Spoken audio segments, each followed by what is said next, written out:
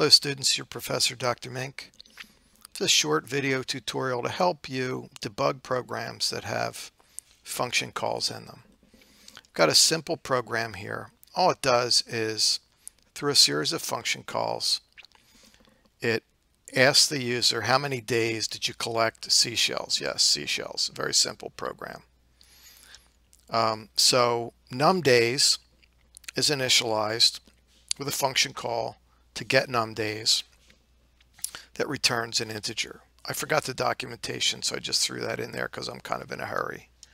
Um, then total shells, which is an integer, is initialized by a call to the function calc total shells, which passes num days and returns an integer.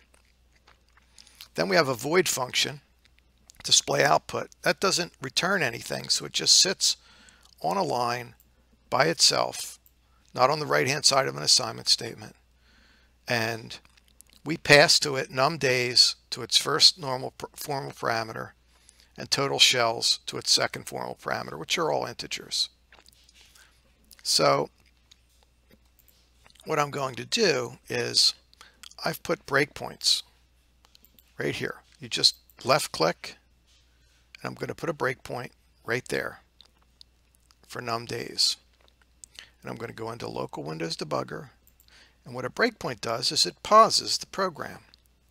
Right now I'm paused and you could see the uh, red dot turn to a red dot with a yellow arrow and I'm going to bring your attention to this part of the screen up here. This is your debug menu.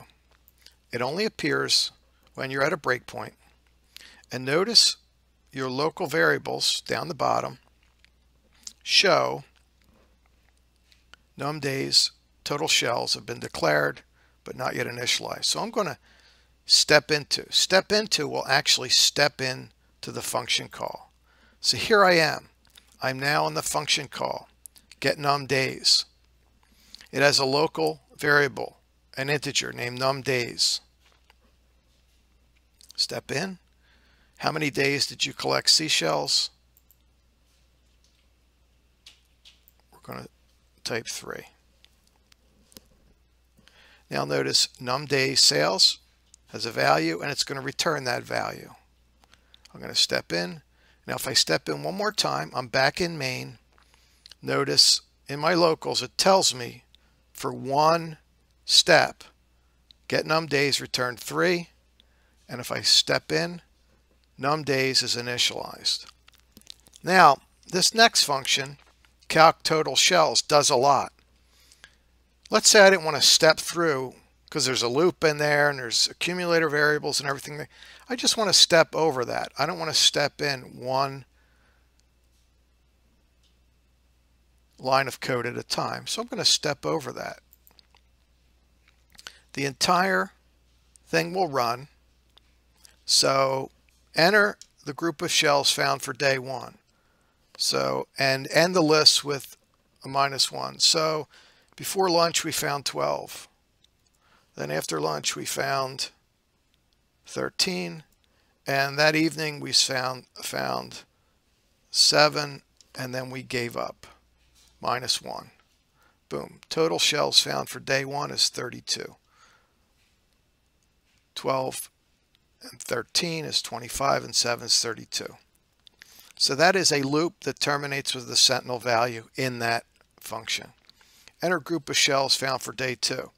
Well, we found 13 in the morning, but then it rained the rest of the day, minus one. Total shells found for day two, 13.